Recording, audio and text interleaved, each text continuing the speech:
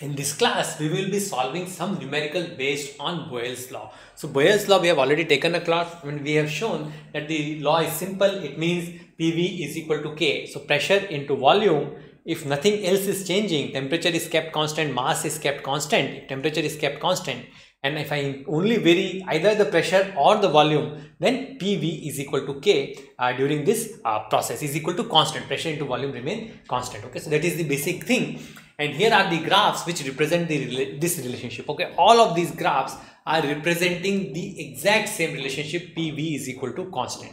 Okay so that is our basic information. And if you are not clear on that then look at a class uh, before this. And there we have discussed the Boyle's law in great detail. Here a problem is given very very simple problem. A balloon on ground so the balloon is on the ground. On the ground the pressure we assume is equal to 1 atmosphere okay? So that is the first thing. And the volume of the balloon is equal to 75 liters okay? So that is the amount of air inside the balloon. And the temperature is 28 degrees celsius. Now what we have been said here is that the temperature remains the same. So it is completely out of the equation. So that value is redundant. We don't even have to use it.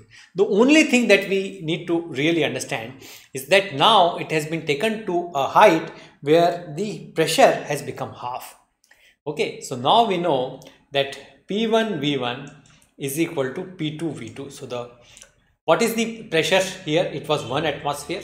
And what was the volume? 75 what about the second case?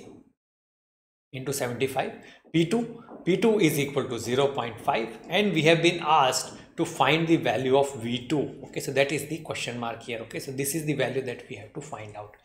So with this information we can now see that V2 is equal to 1 into 75 and this 0.5 I will write it as half because those that will make our job simple.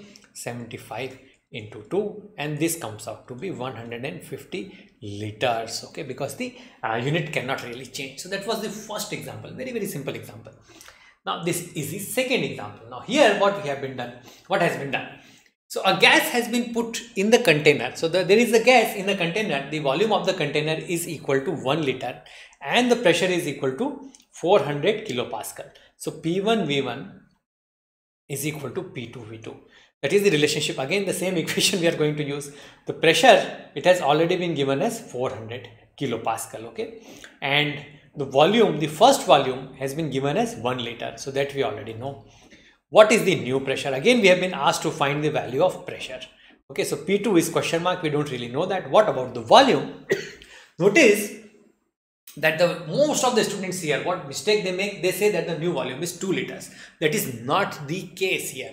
What is happening here is that we are being the our vessel, our original vessel. So let's say that this was our vessel originally.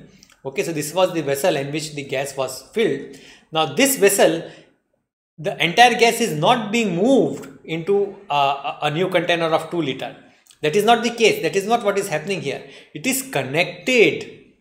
It is connected. Okay, so there has been a there is a pipe and using which it is now joined. So this 1 liter and 2 liter vessels they are now joined together. So what is the total volume now? It is 2 plus 1 which is equal to 3 liters.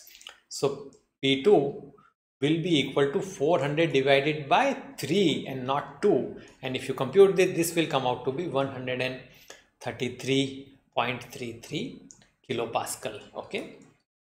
Very very simple problems. On Boyle's law so definitely don't miss these problems. Very very simple. Thank you